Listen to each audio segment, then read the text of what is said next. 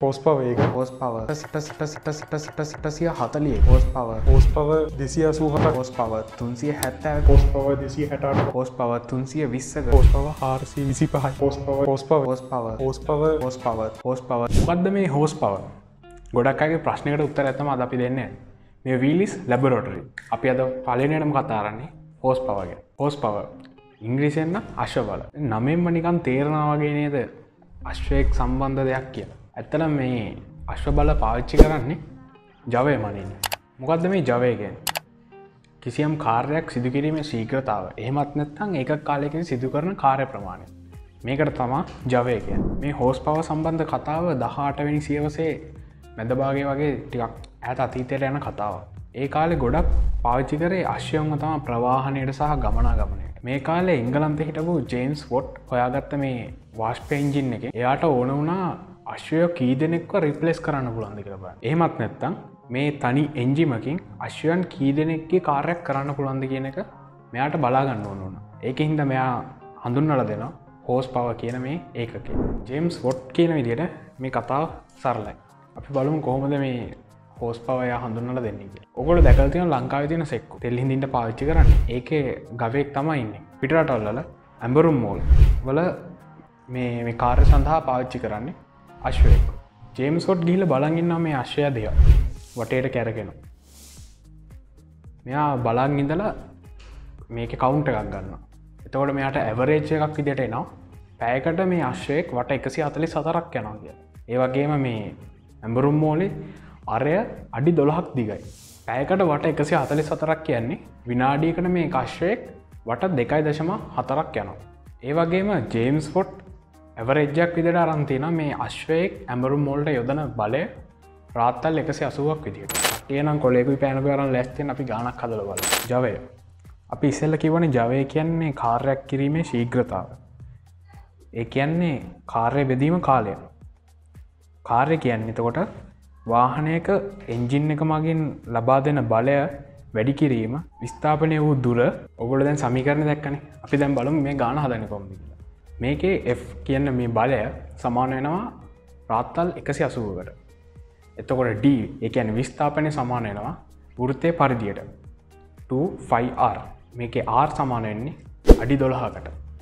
හැබැයි අපිස්සල්ල කිව්වා මේ අශ්වය මිනිත්තෝකදි වට දෙකයි දශම හතරක් යනවාගෙන තොට මේ පරිදිය දෙකයි දශම හතරකින් වැඩිය ඊට පස්සේ කාලය මිනිත්තුවකට තමා මෙතන්දි අපි බලන්න. එත්තකොට වාට අන්තිමුත්තර විදිහට තිස් දෙදස් පන්සි අසූ පහක් එනවා. ගේම් සෝට්ටත් හිතුනා මේ ආපු ගාන හරි කැතයි කිය ඊට පස්සේ එයා කරේ මෙයා මේ ගත්තු හැම එකක්ම ඇවරේ චරන් තිබ්බෙ කියන්නේ කාලය ඇරෙන් අනිත් හැම දෙයක්ම ඇවරේච් ඒක හින්දා මෙයා මේක වටයන 33,000 ෆුට් පවන්් ප මිනිට් අපි මේ බැල්ුවේ මිනිත්තුවකටන අපි දැම් බලන්න එක තප්පර එකට කියද කියලා. එකන්න මේ තිස්තුන් දහ බෙදෙනවා හැටේ. එතකොට උත්තරේෙන පන්සිය පනායි. 550 ෆුට් පවන්් ප සෙකන් අපි මේ ගත්ත උත්තරේ ප්‍රක්ටිකලි බලු අස්පේක්කින්න බරගුත් තියෙනවා. මේ අශ්වයා රාත්තල් පන්සේ පණහක බරක් අඩියක් උඩට තප්පර එකද උත්සන ඕක තමා සරලමදී ඔන්න ඔය වැඩේ කරන්න යන ජවයට තමා එක හෝස් පව එකක් කියලක මේ අනුව එක හෝස් පාව එකක් කියන්නේ 550 ෆුට් පවන්් ප සෙකන් එමත් නැත්තන් සිංහලෙන් කියනවන පන්සිය පණහයි තප්පරයට රාත්තල් අඩි. තවත් විදිකින් කියනවනම් එක හෝස් පාව එකක් කියන්නේ පොට් හත්සිය හතලිස් පහයි දශම හතකට. ඉදැන් හදපු ගාන තව පොඩ්ඩක් කිසරට පැහැදිලි කරගම්. වගේ ඔල්ලු පොඩ්ඩක් කවුල් කරන්න යන්න.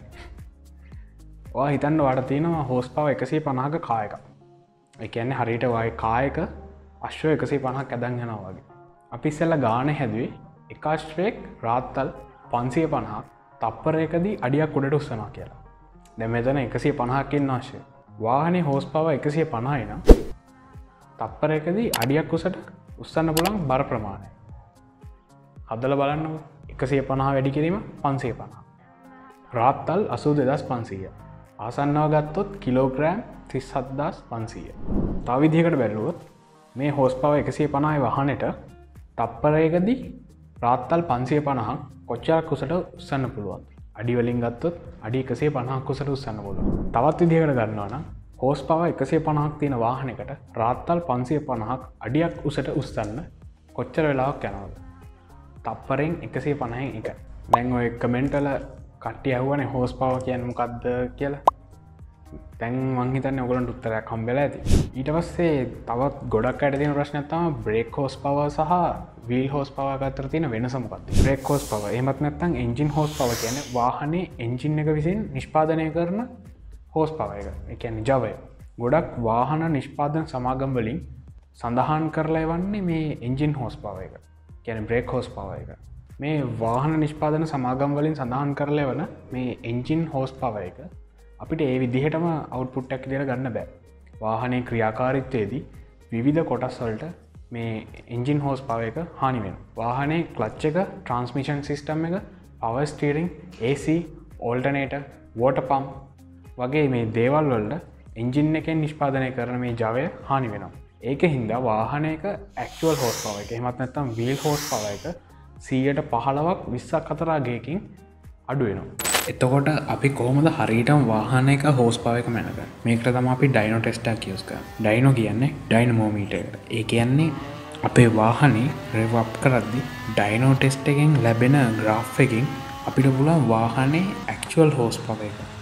එමත් තම් වීල් හෝස් පව එක සහ ටෝක් එක තිරණය කරගන්න.